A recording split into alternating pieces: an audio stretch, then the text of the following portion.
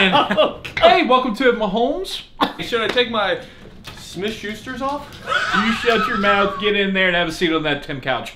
Johnson, can I get you anything? A little glass of Zach Chardonnay? I was thinking more of a Heath Miller. A few more of those, and you're gonna need a designated Donald Driver. Hey, you got a uh, Cooper Kupp I can Clinton pour this into? did you uh, get a haircut? Actually, you know, pay a little visit to my tiki barber. I am tight. I had a hey, what's uh, Dalvin cooking? Wait till you see these lamb chops.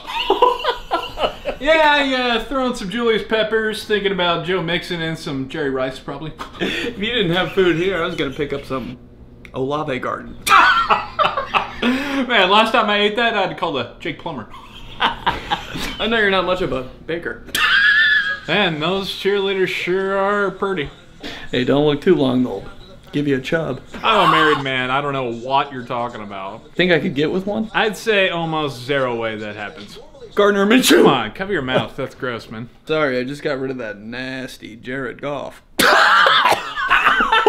Okay, we gotta stop. We gotta right, hey. I'm telling you. I'm work done. Hey, fuck you! We'll see you tomorrow.